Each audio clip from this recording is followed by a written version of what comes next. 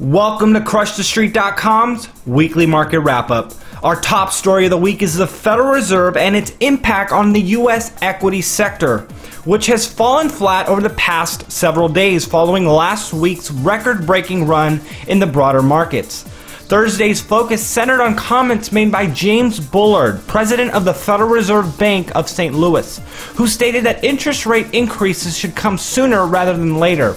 Mr. Bullard, in an interview with Fox Business News, reiterated his opinion that raising rates by the end of the first quarter of 2015 would be the course of action, based on a jobs forecast that sees unemployment falling below 6% and inflation likely to rise back to 2%. Unfortunately, reality tells a drastically different story. Much of the numbers that go into the Labor Department's calculation, with the most recent example being the 6.3% unemployment rate reported on June 6, ignores critical data, namely a metric with the ambiguous term U6. According to the Bureau of Labor Statistics, the U6 defines unemployment as total unemployed plus all marginally attached workers plus total employed part time for economic reasons as a percent of all civilian labor force plus all marginally attached workers. In layman's terms, the U6 is a comprehensive definition that includes the underemployed and the discouraged.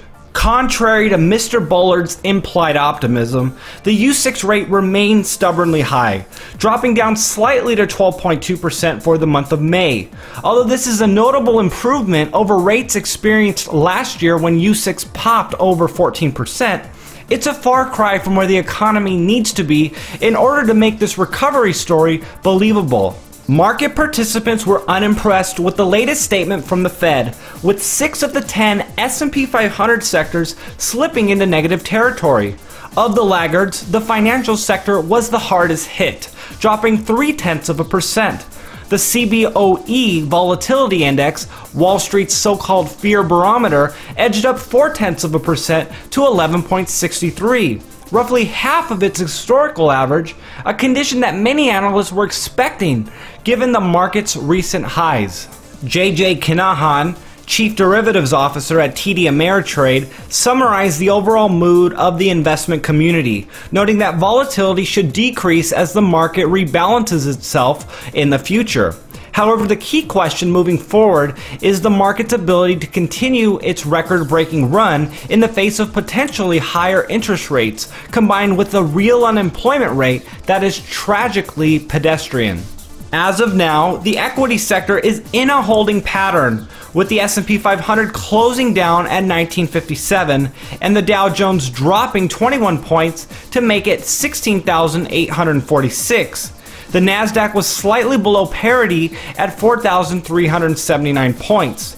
The metals complex experienced a mixed performance, with gold stabilizing at $1,318, while silver cleared the $21 barrier and palladium staged a small comeback to close at 836.